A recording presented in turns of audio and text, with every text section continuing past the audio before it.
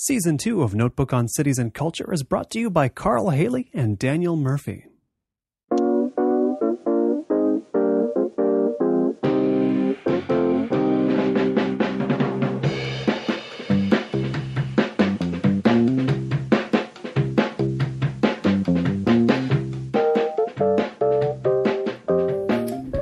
Over here from downtown, I noticed a a lot of bike shops on the way, and then, of course, we see a lot of bike centric things around right here. And I, I remembered, or thought to myself, geez, I, I get around Los Angeles on a bike. I, I should really be doing it here. You know, in your estimation, in your professional estimation, how much happier would I have been ta riding a bike rather than taking the bus over here? Yeah, you would have been probably 200% happier. 200% happier. Yeah, it's definitely the best way to get around Portland. Mm. You know, Portland is relatively compact, particularly in the inner part of the, the city. And the riding a bike is by far the fastest way to get around. And I do include actually stopping at all the red lights when I say that, um, because you can, in many cases, be in a bike lane and bypass traffic. Whereas, you know, on a bus, you're you're in traffic. Um, and you have a lot more flexibility. Uh, you can really get just about anywhere uh, in on a bike way, on an actual in an actual bike lane, or on a trail. And uh, it's e- obviously really easy to just park right in front of almost every building has some kind of good bike parking. So it's it's definitely the best way to get around. It's Notebook on Cities and Culture. I'm Colin Marshall, sitting here in the central east side of Portland, speaking with Mia Birk, the CEO and principal at Alta Planning and Design, where her business is sustainable transportation, especially of the cycling variety. She is also, and I'm going to consult her book to get the exact title right because I didn't want to mess this up. She is the adjunct professor at Portland State University, where she co founded the Initiative for Bicycle and Pedestrian Innovation in the College of Urban Studies. There, I didn't mess it up. I knew I was going to forget a word if I didn't look at the book. The book, by the way, is Joyride Pedaling Toward a Healthier Future. She's written that, and a lot of it is about the time she spent as the bicycle program manager of the city of Portland. Portland is a city that so many associate in their minds now with, with cycling. When you got here, it was not that way, right? Right, exactly. You know, early 1990s, we had done a few things, and probably at that point we're still ahead of most American cities, mm. but we had a really long way to go. And what was happening at the time was there was kind of a convergence of a number of very positive things. We had a city councilman, Earl Blumenauer, who's a U.S. congressman since 1998. But at that time, he was a city councilman, really focused on trying to make Portland a more livable place, and, and he was very passionate about transportation solutions, including bicycling. We had a newly formed advocacy group, the Bicycle Transportation Alliance, that was pushing the city to do a lot more. There was federal funding that had been passed in 1991 that was trickling its way down to the cities, and Portland was really ready because Portland had been thinking about bicycling for a number of years. And then they had staff, um, myself included, that were really tasked with trying to create a bicycle friendly future for Portland. So all that was converging at once. And so it was a very exciting time in Portland when we really lit, you know, lit a fuse and, and sparked a revolution. Uh, we adopted our, our uh, bicycle, very visionary bicycle master plan we started putting in bike lanes and trails and bike boulevards and bike parking at uh, really lightning speed, just as fast as we could go. And we started um, planting seeds for all kinds of encouragement activities and cultural changes so that people could really see the bikeway network as a way that they could actually get around on a day-to-day basis for whatever kind of trip. So we did a lot in the 90s. It was a very exciting time when uh, we got the ball rolling. And in the, in the beginning of Joyride, you, you talk about the, the early days, and you, you write about some moments of surprising, surprising, I guess, hostility towards cycling just on the street, getting shouted at and whatnot. That's that, it's still kind of hard to believe uh, there was there was that much um, sort of floating animosity toward the cyclist in Portland at some point. You know, there's still animosity and there's still t- tightness out there. You know, let's face it, we're, there's stress when people are out on the roads, no matter how they get around, and particularly when people are in cars. There, there is a uh, dehumanizing effect to the metal box that's around you, and those that drive everywhere tend to be very stressed. And there's a um, there's a tension between people that ride bikes and people that are in cars that plays itself out from time to time. Now, for the most, Portland is a place where there there is more niceness than there are in a lot of places um, on the roads. And you know, when you when you talk about um, you know, when people come to Portland, they experience that boy, the people stop for pedestrians and they they don't, you know, cuss at each other and they don't um, blow their horns as much as they do in other places. I think that's true, um, but I think that the the bicycling part of it has really evolved a lot. Like in the early 1990s, before we had, we really didn't have bike lanes on our roads. And there were very few people bicycling on most of those roads. And so that meant that anybody on a bike was just kind of sharing space in a, in a traffic lane. And there is a lot more tension and hostility when you're sharing um, a travel lane on a busy road where there's a high speed differential. Mm. And the more you put in bike lanes and separate people on bikes and people in cars in space on busy roads. And then if you share, but you bring the speeds down of motorists so that it's a comfortable shared environment where the speed differential is low, mm. then you reduce the tension. And then, but the other, probably the most critical thing that's happened besides the bikeway network is there are more people cycling. Mm. And those people also many of them, many of us own cars and drive as well. So the whole notion of you're a cyclist versus a motorist is um, blurred. You're a person, and sometimes you're in a car, and sometimes you're in a bike. So when you approach a stop sign and you're driving, and you see a person on a bike approaching the stop sign, you just wave them through. Or if you're on a bike and you slow and you're prepared to stop, a lot of the time the motorist is waving you through, even though really it's your responsibility to stop. And that's because we're all getting around and we're all using these different modes at different times and we've developed a real understanding and tolerance of each other. That has definitely improved. Hmm. you describe this this sense of taking away the sort of battle the conflict of cyclist versus driver. You're one or the other. You you pick your sides. It seems like people understand that but when you in, in the way you describe the political processes that you've had to grind through and in Joyride the politics likes to likes to bring that divide back. If not any particular politician, this, the, the system of the way politics works, in some sense, wants there to be two camps warring. Does it not? You know, I think a lot of it actually comes from the media. Mm. I think it's very, the media drives a very simple, antagonistic approach to this issue. So there have been, ever since the 90s in Portland, and even today, there are constantly articles in the main paper and constantly news bits on television about the cyclist versus motorists hostility and problems that are out there. There's um, so much positivity, and there's so many people that drive, bike, walk, take transit, um, use all those modes, and and the media kind of takes one little incident out of what has been, you know, a million happy and successful and safe trips that happened and on any given day. But the one that um, they saw or that you know created some controversy is going to be blared all over the um, you know all over the front page of the paper. So the media has has continually picked on this and made it so much worse than it really is. It's really a remarkable that most people get around quite safely every single day and that out of every single day if you're riding your bike or you're or you're driving you're going to have um, you know dozens and dozens and dozens of positive interactions with other humans that are out there.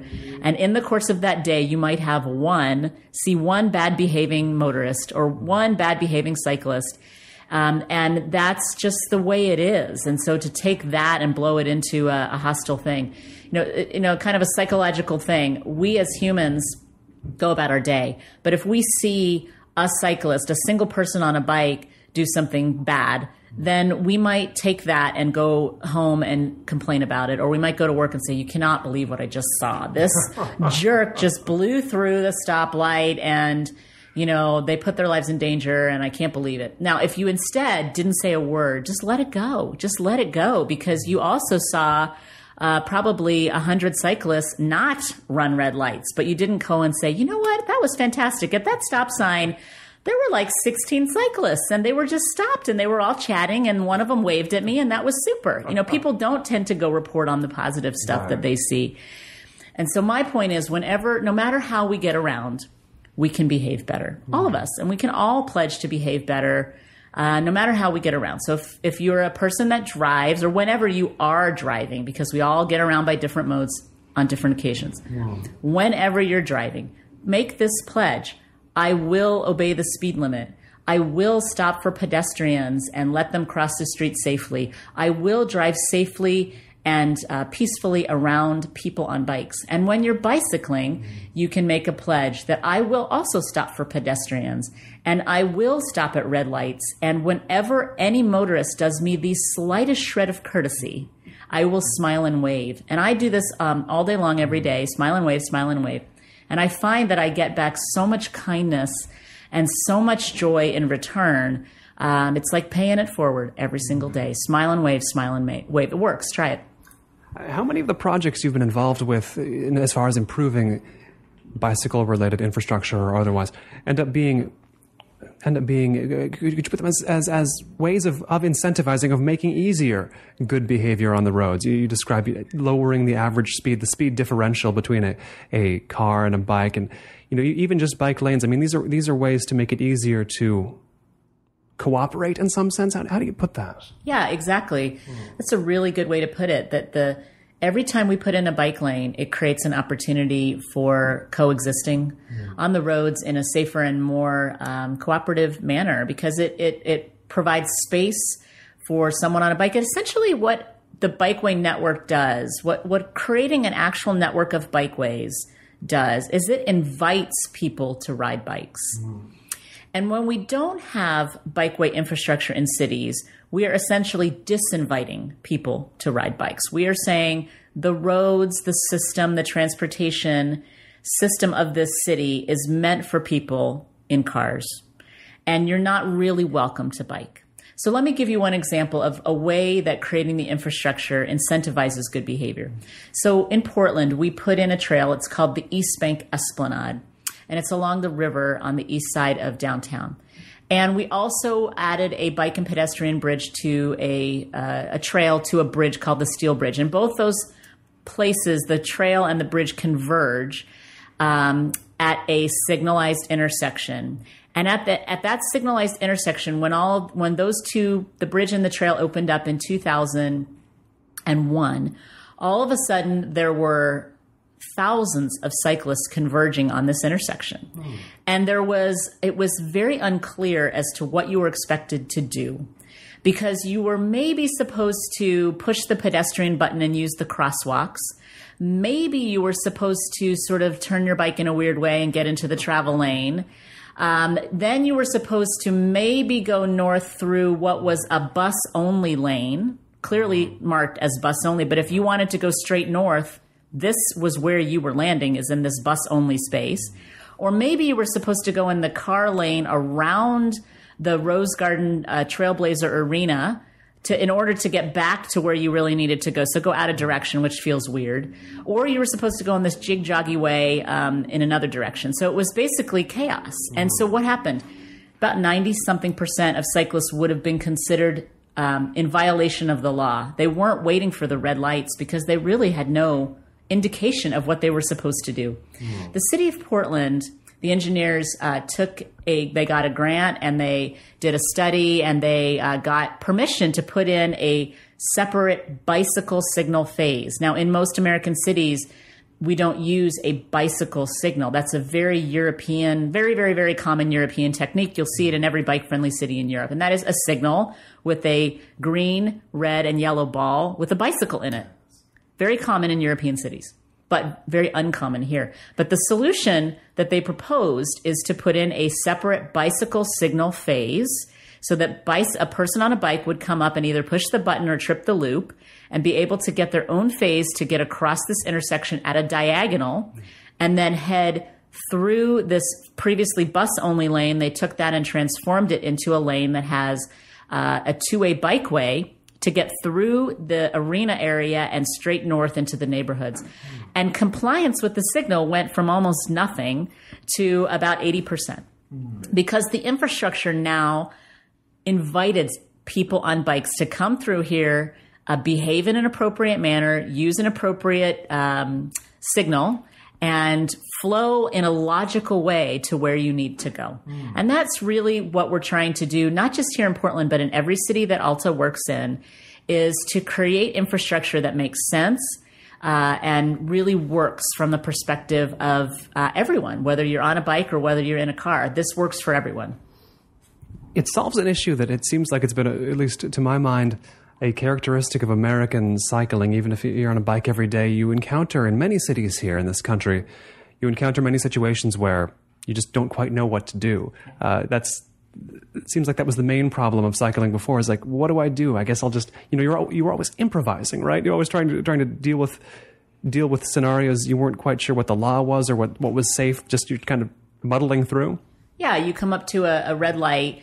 And how are you supposed? You're sort of unclear. You're sort of waiting at it, but the light doesn't turn green for you because you're supposed to you can only trip the signal loop if you're in the exact right spot and you stay on it. And somehow you're supposed to know this, mm-hmm. um, or you're, you know, you're you're not quite sure what the right route is. I mean, uh, and that, you know, so that's just really the the goal of what we're trying to do in cities all across North America is to create conditions where bicycling can be facilitated as a normal, safe, convenient, and fun way to get around. Mm. And to do that, we have to provide infrastructure. It's like it's like expecting someone to take the bus where you don't have a bus stop.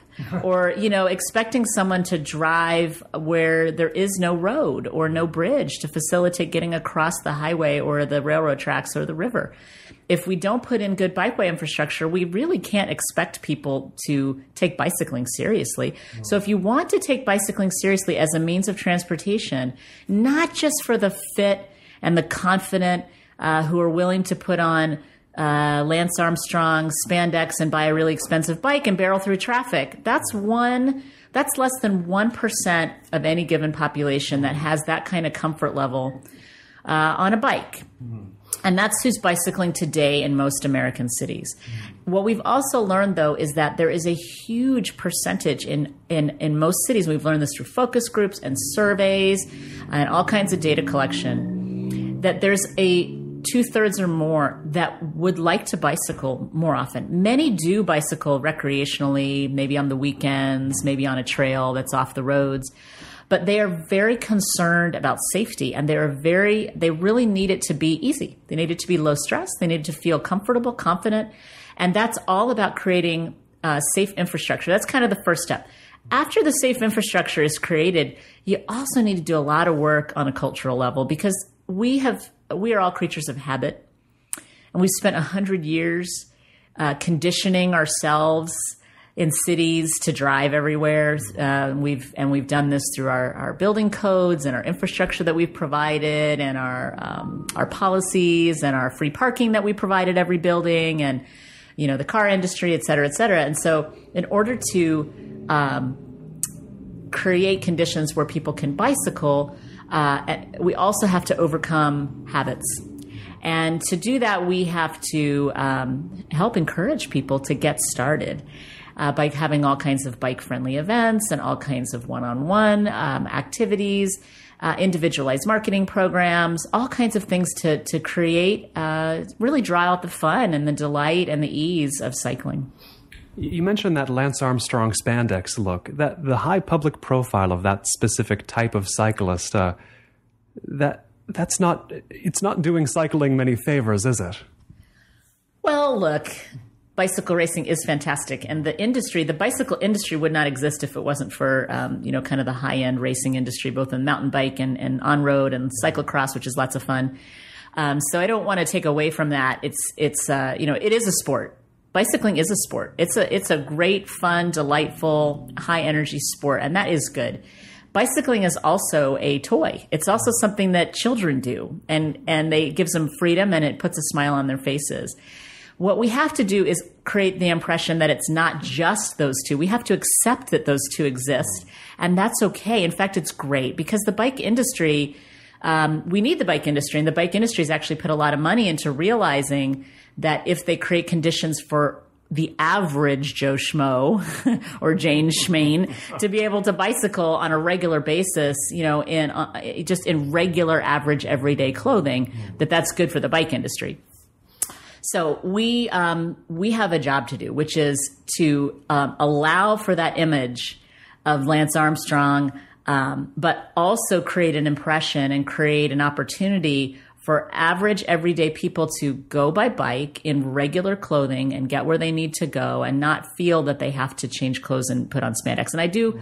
talk in my book a lot, particularly about women, this being a very big issue for women mm. and that um, the bicycling look that um, you know is kind of driven by the Lance wannabes with the the lycra shorts, the butt pad shorts, and the cookie shoes and all that stuff you know, it is definitely holds it's it does hold people back because they they think to themselves, well, that's what cycling is all about. I got to jam my legs into these uh, really unattractive shorts, and um, you know, get a bunch of expensive gear and and that that is not um, that is kind of doing us a disservice. And so the impression that I that I try to create and that we try to work through in many many cities that we work in is the impression of this is just the way we get around. You know, you can wear your skirt and your high heels and you can, you know, still look good whether you're a guy in a suit or a woman on, you know, in cute clothing, going to pick up your kids, going to the grocery store, going to work, whatever it is. You don't have to put on this kind of racing look to get there. That's, uh, and, and that again, it requires some real cultural work, um, you know, in different communities to bring that out. Now, you personally found out that cycling was was a form of transportation that, that you could wear non spandex taking before many Americans did. How how did you? Well, I started riding in Washington D.C., where um, the location that I picked to live just wasn't real convenient for taking the train there. Uh, and it wasn't real convenient for walking. So I kind of got lucky because my brother kind of sh- shoved his 10 speed Schwinn on me and said, you know, take my bike. And I was focused on environmental studies and he kind of shamed me into it. And I was a little overweight at that point. And so he, he, he said, you know, you're always complaining about being so fat. Why don't you get off your lazy butt and ride a bike? And, you know, when siblings heckle you, sure. I don't know, that's kind of a torturous thing. But, um, so I did start riding and I could barely get up the most pathetic hill when I started riding and but I did. You know, I kept going, and I felt within a couple weeks really, really good, really energetic, and uh, and fit. And and I started losing weight. But more than the weight was that I started just feeling good. And so I, uh, at that point, I had a car in, in Washington D.C. and I got a lot of tickets, and then it broke down. And so I felt like that was just a sign that I needed to live a car-free lifestyle. So I just really started doing it, um, and I found that it was a great way to get around and maintain my energy level and my fitness and my sanity and, and all that was good being in graduate school. And then I started working for this nonprofit environmental group called the International Institute for Energy Conservation. And my focus was on transportation. And I went for four years to cities um, all around Asia, got to see a lot of European cities as well, um, learning about transportation and seeing that these very rapidly growing cities that were putting that were following the American model of building roads and facilitating car travel for everyone were headed to ruin. We're, we're experiencing tremendous, hideous traffic congestion and air quality and safety problems. And that if you looked at the cities that were investing in rail and walking and cycling and compact land use, these economies were thriving and their uh, air quality was improving. Well, what were the cities that were impressing you in that way?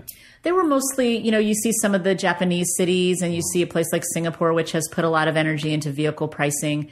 You see a city, Curitiba, Brazil. Mm. Then um, many of the European cities that I visited were Copenhagen and Amsterdam and Strasbourg, France. And um, many of the Swiss cities, many of the Dutch cities, many of the Norwegian cities.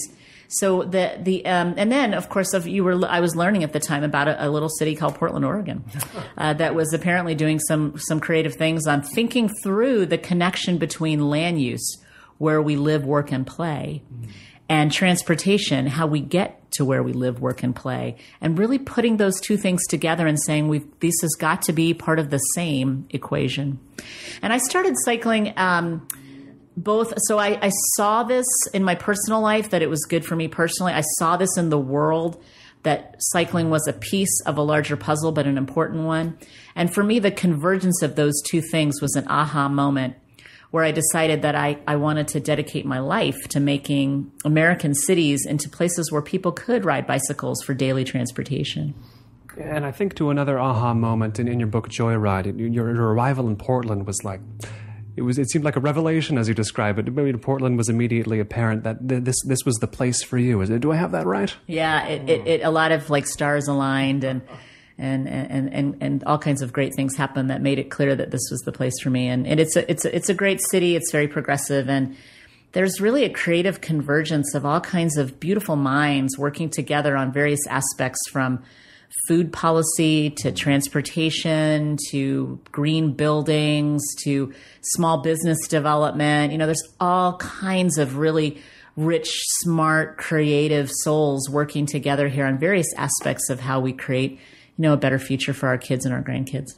You mentioned European cycling uh, road technology, like the, the lights dedicated to the cycle crossings, and you mentioned the, the city of Copenhagen, which is a city many cyclists bring up as, as a shining example of, you know, why aren't we doing it like they do in Copenhagen? In the book, you you mentioned Copenhagen's uh, there's this there's this code of essentially an anti-spandex code you replicate in in your book um, about dressing sensibly while cycling. What is it?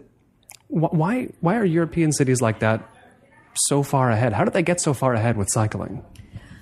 Well, they started in a different place. You know, these are very much older cities and they, they didn't grow around cars initially. They were, mm-hmm. you know, obviously much, much older. And so the, what happened in many of these cities, particularly like Copenhagen and Amsterdam is that in the post World War II period, there was an on, an influx of automobiles and um, a pressure that was, you know, really driven by a lot of the American automobile industry um, to be car oriented in these European cities. And they, the impact on these very old cities was terribly, terribly negative. I mean, terrible air quality problems and terrible congestion. And really, there was a revolution that happened in the 70s, and that was an anti, uh, you know, the green movement and kind of an anti car. Uh, revolution in, in Copenhagen, in particular, where thousands and thousands of people came out and said, "We can't have this. It's it's destroying our city it's blackening our our old buildings. It's cre- it's making it impossible for freight to be delivered to buildings, mm. and it's not what we want. And so they pushed to get back to where they had been, where cycling was a priority, um, and cr- started creating the bicycle friendly infrastructure. And I first went to Copenhagen in the late 80s and then again um, in the 90s a couple of times and then back again in 2008 and and I think what impresses me the most is they didn't stop. I mean, they didn't once they hit already having 20 something percent of daily trips made by bike, they didn't consider that done. They just considered that a starting point and they continued to add more and more infrastructure uh, to the point where today it's something like 36 trip 36% of daily trips are made by bike in in a beautiful, very modern, very uh, economically thriving city like Copenhagen, and it's it's just it's just uh, it is a model. I also think that from a traffic engineering perspective. Um, Copenhagen provides a lot of lessons because it's it's very they're very driven by safety studies as we are here in the United States. Um, they really study the heck out of everything, and they have a very consistent and logical way of doing uh, traffic engineering so traffic engineers like that. They like things that are orderly and you're following the standards and you know it's it's all here prescribed in this manual and and and that's why Copenhagen provides you know a tremendous model for us that we can learn from. And now I should say we're not going to become Copenhagen in any American city. We are not Copenhagen. We're not Amsterdam. We are who we are. And every city in in North America is different. We all have to start where we are and create conditions that make sense and within any given city, you could have, you know, a hundred different neighborhoods, uh, hundreds of different neighborhoods with different conditions. And there is not one size fits all solution. There, there's a lot of stuff in our toolkit. And what we like to do is take that toolkit and apply the right tools to the right places in order to create the conditions that make sense for that community. And that's what we're doing in, you know, cities from Los Angeles to uh, all over the East Coast, all over the Midwest, and many of the communities working here on the West Coast, you know, down in the South, the Southeast of the United States. I mean, we're really working in, you know, hundreds of communities, some small, some large, some rural, some urban, many suburban communities as well. We got beach towns, we got mountain towns, we got tourist towns. Uh, you know, we've got industrial parks, we've got a lot of private uh, kind of uh, office parks that we're working in, mm. you know, lo- working at a lot of individual school levels, all kinds of, you know, just anything you can think of of a place that you are going uh, might be a place that you could think about substituting a trip. Hmm. Now, now, given the, the, variety of American cities that you work in and, and think about the cycling potential of, how much Can, can you ever look at look at a European city like a Copenhagen and say, you know, there's an element we could bring over, or is it always a matter of saying, well, cool, they've they've done it right. We just need to we need to emulate how they think about cycling more so than what they're doing about cycling. Does that make sense? Well, I, I, the answer is both. Hmm. We, we, we definitely can think a lot. How are they thinking about cycling? But we can take those techniques and adapt them to the American context and apply them as appropriate. Not every little, not every single solitary thing, hmm. and certainly not every single solitary thing today. But um, we have. And so in the 1990s, I went to Europe on a fellowship and visited 18 of the most bicycle friendly cities and brought back a lot of ideas. And those included bicycle signals mm-hmm. and colored bikeway pavement markings and advanced bike boxes at intersections so that cyclists can be ahead of motorists when the light turns green. Shared lane markings, uh, signage, fantastic signage that really is wayfinding signage to tie the whole bikeway network together so you can know where to go, how to get there on a bike. Um, and I took all these ideas and brought them back and started um, studying and analyzing and, and picking and, and working with engineers and working with politicians and citizens to see which ideas made the most sense and how we could apply them in the American context. And it, it's taken, so that was 1996. So here we are, you know, almost 20 years later, 16 years later, and we're, we're, we've applied almost all of those techniques um, in different ways. Some of them have penetrated to the national standards. Some are still going through the process of getting into the national standards.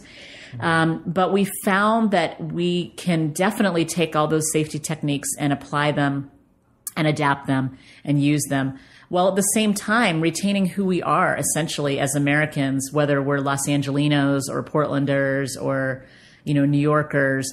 There's, uh, we have to allow for the differences between us. We have to um, create conditions that make sense for those individual communities.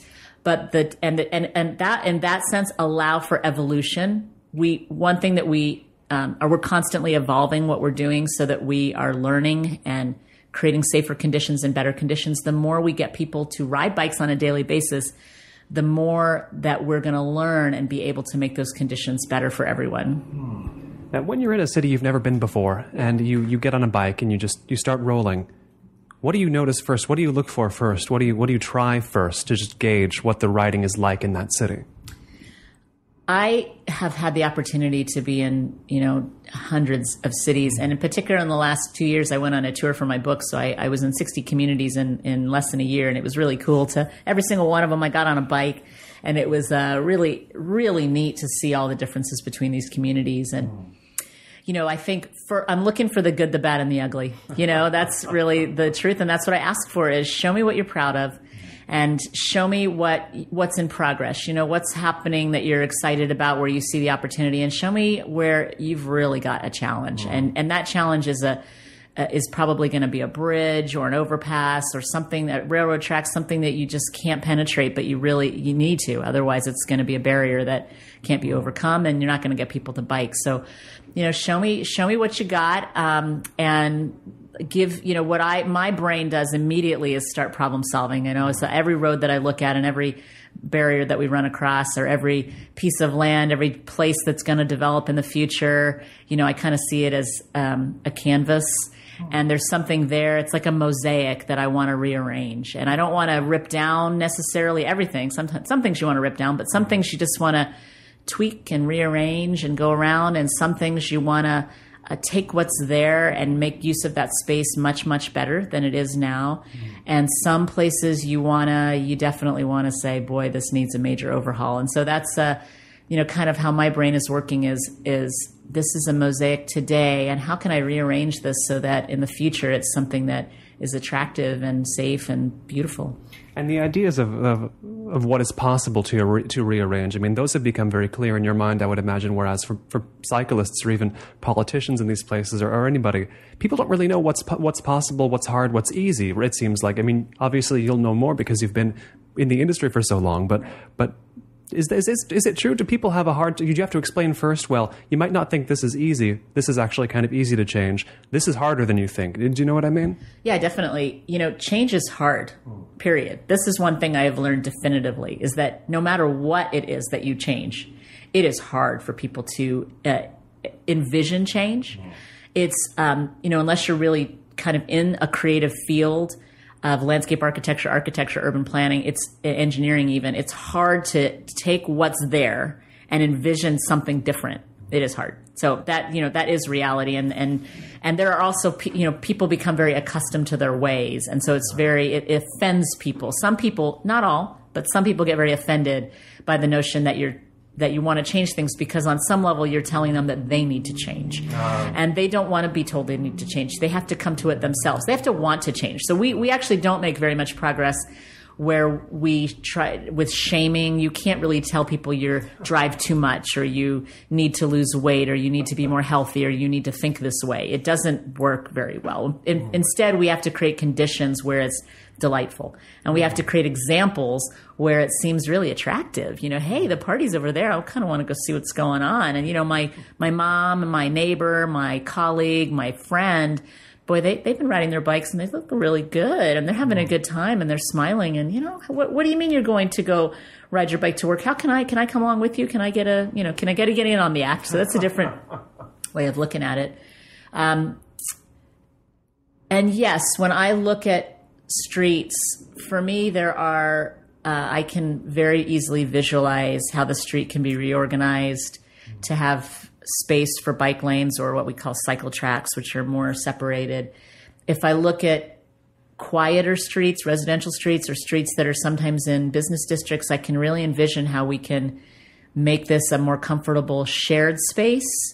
Um, that is very hard for those that kind of aren't in the industry to get. And a lot of the reason that it's hard is if you haven't experienced it yet, it's very hard to envis- visualize it. So if you're in a community that has no bike lanes, it's very hard to visualize what streets would look like with bike lanes. If you're in a community that has no bike boulevards, which is um, what we use, the term we use, or neighborhood greenway, for a very low volume residential street where we've reduced motor vehicle speed and volume and created a uh, an, a beautiful shared space where you can coexist. Um, very hard for people to visualize because those of us that drive for every trip are probably never going to have experienced a condition like that because they drive on major roads. So why would they have had the experience of getting out of their car and riding on a, a residential street that has had all these um, interventions done to it? it?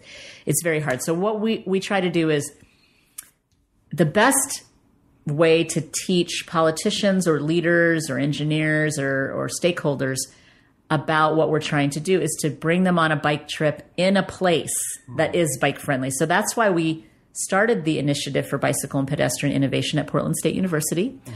And also through First Stop Portland, which is a tour center at Portland State University, we host um, delegations from all over the world almost every week and we put them on bike and we give them a tour and their eyes get opened. You know, I was giving a tour last summer to the, the, what was the, the mayor of Denver, who's now the governor of Colorado. And the, you know, his eyes just lit up and, and his ability to grasp what we're doing completely changed. Same thing with the mayor of Sydney, Australia that I um, brought around. They're doing some good stuff in Sydney. So, um, that's the first is bring them on a bike trip. And one example I'll give is we had a um, we were working on a bike plan at Orem, Utah. Mm. Not a terribly bike friendly place. Lots of trails, like off road, but in the town of, of Orem, they had not connected up all the trails or done any bike lanes. And we produced a bike plan, a draft bikeway network map. And the city engineer was really alarmed looked at it and immediately started marking it up, going, "Oh, we can't do this. We can't possibly do that. We can't. Oh, that's really no way. That's too. Oh, forget oh. about it." And by the time he was done marking up our draft plan, which was a long term plan, it was like a thirty year vision. Um, he had one. There was one bikeway in the north south direction, one bikeway in the east west direction. That was all that was left on the the vision. What was wrong with all the rest of them? You know, well, we can't possibly. Well, we couldn't possibly trade off a travel lane. We couldn't possibly trade off parking here. You know, this one's got a barrier. This one's going to be too expensive. all the normal reasons that are barriers for people in their minds. But really, what the issue was is they just did not have bike lanes in Orem, and it was very hard for him to visualize what that was going to look like or feel like. So we invited him and a delegation to Boulder, Colorado. So in a day, we had the mayor and we had a bunch of city council people, and we had the chief of the fire bureau and the police bureau and the parks bureau, and some uh, community leaders, some business owners, and the city engineer. And we brought them to Boulder, Colorado, which is a phenomenally bike friendly place we had them all on bike and we and i tell you we when we started off the ride the very first question i got was now what are these number thingies on the uh, handlebars? You know those that's the gears so we were talking about starting from square one is what we can say. one yeah that we had people that had not been on a bike since they were a kid and they weren't familiar with even how to use gears. Mm. okay and this is normal. We just really have to be recognize that for many people getting back on a bike when they're an adult is um, it's a whole different experience. It really is. Mm. so we started pedaling and it took less than an hour and I pedal up next to the, uh, the the public works director, the engineer, and say, "So what do you think?" And he goes, "Oh, you know, I, I have no problem with any of this. I, I you know, it's going to be fine." And we got and we get back to they get back to Orem. They and within uh, a few months they've got bike lanes in Orem, or not just the, adopting the plan, but actually putting in bike lanes. And The bike lanes are there and they're usable. there. They're usable, and so it really it takes experience to get over some of these emotional hurdles and, and get people comfortable with what it really means. What, what do you notice about the, the moments these the people of these delegations when they really get it? What what are they what are they experiencing specifically? Is it just they're like, hey, I'm I'm moving along pretty fast, or I'm, I'm getting this is a this is a pleasant ride, or hey, I actually I can figure out how to do this. I can see how what what is what is what really lights them up to begin with. One, they are smiling. I mean, ah. you know, it feels good.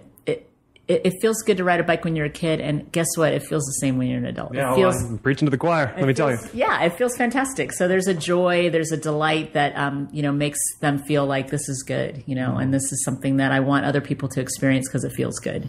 And so that's one. But the second is particularly a lot of politicians. What lights them up is they can, in their minds, and visualize a solution to a specific problem that they have in their community. So they're thinking about that really congested road, or they're thinking about that um, new office park or that new residential area or something that um, people complained about. They have a lot of complaints from constituents in a neighborhood about how fast traffic goes through their neighborhood street. And so they start to, in their minds, go, oh, here's what we could do. We could take that problem and we could solve it by putting in uh, this traffic diverter that will shift some of the traffic to a, a more appropriate location. And we could put in some speed bumps, some signage, some uh, parklets, some greenery, and we can make this street into a place that is a very delightful shared space. Or we could take this really busy road and we could reorganize it so that there's a dedicated cycle track and and they can see that the businesses are thriving here. They can see that motorists are getting to where they need to go. They can see that people aren't crashing into things. They can see that there's a lot of people on bikes that are very that are you know normal looking, average everyday humans getting around, and they can see it, and it all kind of clicks for them, and they go, "Oh, we can do this." Yeah, I, I mentioned I myself uh, getting around Los Angeles where I live. Uh, the, the bicycle is the main way I do it, and I, I want to know what you're thinking about North American cities like like Portland or, or Los Angeles. You know, how much is how much of the, the identity of the city is involved in sort of the way the way to improve the cycling conditions? I mean, how much how much of it is like, well, this this is this is a city this is a city that is like this. Um, what uh, what does that mean for how people bike through it? That sounds a little bit vague, but do you know what I mean? Well, I'll give you an example. I was uh, I grew up in Dallas, Texas, and this is a, a very car-oriented city where every just about everyone grows up driving for every single solitary trip. That's the way people get around. So, but things are changing in Dallas, and they built a light rail line, and they um, put in a trail. It's only three miles. And it's on an abandoned railway called the Katy Trail, and it goes from um, a private university to the downtown, right to the American Airlines Center, where the Dallas Mavericks play basketball. Lots of people use this trail, but it's only three miles. And so once they get into downtown at the American Airlines Center, they're kind of like, now what do I do? I just turn around and go back? oh, okay. So the a number of the leaders said, "Gosh, we want to be able to keep going. What what do we do now?" And so I, I got to work on a plan for the uptown and downtown to create a network of facilities in the uptown and downtown. And initially, their concept was is going to be a, a ser- what they thought of in their heads was trails, and the trails are going to be like this abandoned railway where it's completely off the road. But we're talking about roads. There there are no more abandoned railways in the heart of the downtown, mm. and so that was not going to really work. And so we started pulling out the tools in the toolkit. Okay, we could do traditional bike lane. That's a line on the road. It's just a line it's relatively easy, low cost. You'll have to squeeze some space out of other travel lanes, maybe trade off parking, but technically speaking, relatively easy. Or some of these streets we could turn into more of a shared use environment um, by lowering travel speeds. Or we could do more of the uh, cycle track, the Copenhagen model, where you really are taking uh, quite a bit of space and dedicating separated bike space in the in the public right of way, but it really is separated. And when we trotted out these options, what we heard in hey, this is Dallas, Texas. People drive, okay? They just said this is this what this is how it is. It's how This it is is. how it is. It, if we're going to make it safe for people to ride bikes, we can. Bike lanes are not going to work because people are just going to drive their SUVs right over those bike lanes. And with shared use environment, forget it. That is just not going to work in Dallas, Texas. We have got to have separation. And if that means we trade off some parking or some travel lane space, then so be it. That is what we've got to do. And they were really set on it being appropriate to Dallas. That we this is such a car culture that we're going to have to um, take you know take it's take it seriously in order to create the space. Now, there's other places where I've recently been, uh, like uh, outside of Boise, Idaho, in a really um, suburban community called Nampa.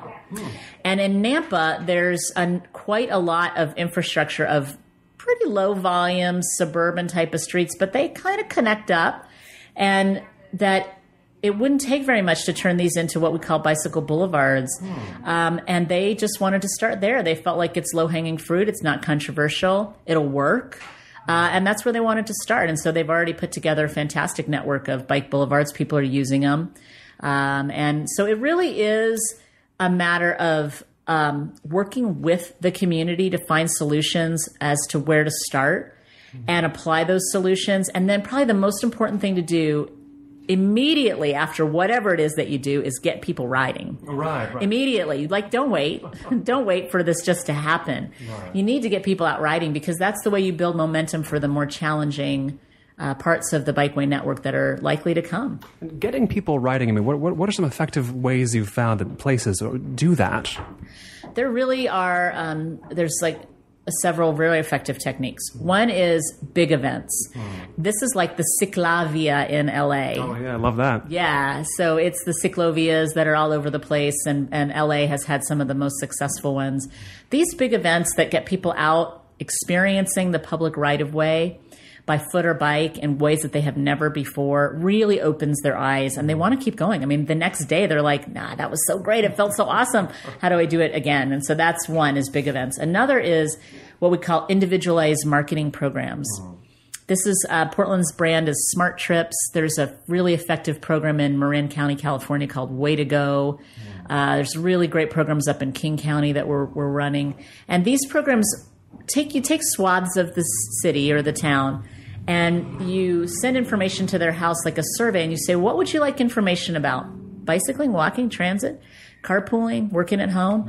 Uh, and we find that a lot of it's just people don't have the information. They just don't know what the bike routes are and they don't know uh, how to get where they need to go. And so we try to lower the barriers to entry and we deliver to their doorstep a bunch of information customized to their needs. And then we blitz the area with a ton of bike events and walk events and activities at the schools, at the farmers markets, at the churches, at the grocery stores so that they can learn and get invited to enjoy this and experience it. These programs are extremely effective. They are uh, for about 20 to $50 a household we shift more than 10% of drive alone trips to bicycling, walking, or transit, and it sticks. People, once they get started, they tend to keep going. So individualized marketing programs. And the third really effective program is Safe Routes to School. And that is because we're, tr- we, cha- we start to change a whole generation of kids to just think it's just, hey, this is just how we get to school. We bike and walk. And not only is it the kids, then their parents start to think, well, we bike and walk to school on, you know, Mondays and Wednesdays. That's the days we can make it work for us. And then not only is it those parents that are biking with their kids, but the community starts to see people biking with their kids and nobody wants to hurt anybody that's biking with their kids or any kids. So the neighborhood around the school becomes a lot more tolerant of people on bikes and foot. So safe routes to school programs really stick. And then the fourth really effective way of getting more people riding is to create bicycle share programs.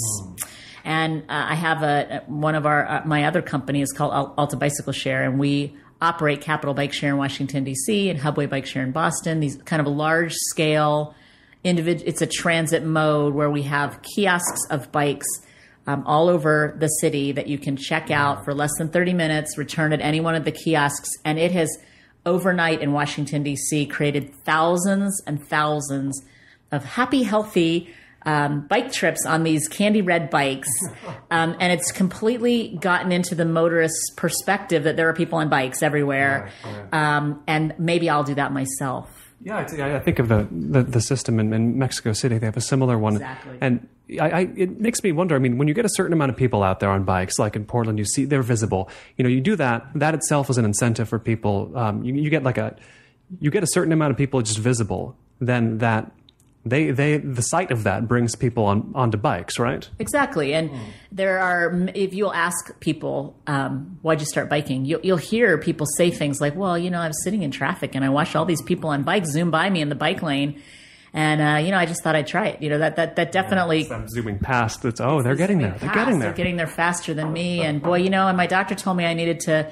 You know, lower my blood pressure and and uh, you know, lower my cholesterol, and I, you know, I need to get exercise. And I guess I figured that I might as well get there by bike if I'm going to the gym anyway. Maybe I should ride my bike to the gym. So, you know, it's it's part of a psychological evolution is and we need to have those that are driving see people bicycling because it that's the way that we open their eyes and open their hearts and minds. That's why the ciclovias are so effective because they can they do it. It's a party. It's a big fun party. But parties make people happy and then they want to keep having that kind of so if you can have a little party as part of every day, isn't that something that you want to do? I, I agree. And, you know, uh, finally, just it, g- being in this in, in the spirit of cycling, I'll, I'll I'll ask you this: you know, for anybody who's like me, just landed in Portland and in your beloved Portland, Oregon, and they they want to explore and they want to ride a bicycle, perhaps they'll rent one or what have you. What do you suggest? How do they? What what would you tell them to to uh, to help them best explore Portland on a bicycle? Uh, well, for sure, go just go online and, and Google bike rentals. There's three or four shops that rent bikes, and they're all going to give you maps. And um, there are a ton of.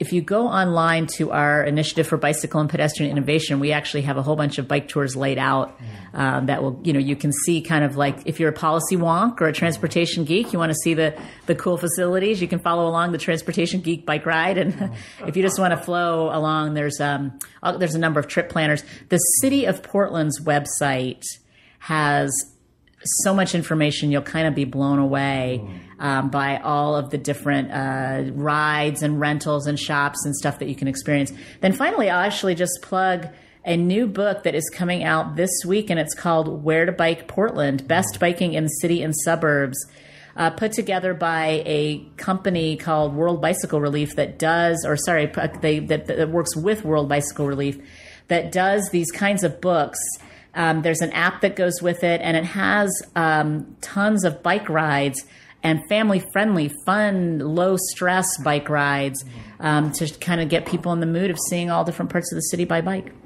Yes, I'm looking at it right now. Right now. Where to bike where- Portland, best biking in city and suburbs. I've been sitting here at the uh, the headquarters of Alta Planning and Design in the central east side of Portland, Oregon, speaking with CEO and principal Mia Birk, also the author of Joyride: Pedaling Toward a Healthier Future. Mia, thanks so much for taking the time to talk about cycling today here in Portland. It's been a pleasure. This has been Notebook on Cities and Culture. I've been Colin Marshall. You can keep up with the cultural creators, internationalists, and observers of the urban scene on the show at colinmarshall.org. Thanks. And special thanks to everyone who backed this season on Kickstarter Danny Bolson, Brad and Laramie on movies, Paul Doyle, Umberto Grant, Matt Howie, Andrew Hovanek, Mark Hines, Mary Gillander, Eric Graham, Will Graham, John French, Andrew Philippon Jr., Kimberly Hahn, Chris Kay, Andy Cooney, Mark Larson, Rebecca O'Malley, Michael O'Regan, Gail Poole, Blake Riley, Superfan Giovanni, Aidan Nullman, Adam Schaefer, Rob Schultz, Scott Schenker, Cam Smith, Kevin Smokler, Adam Sutherland, TSD, Thomas Unterberger, Matt Warren, and Wayne Wright.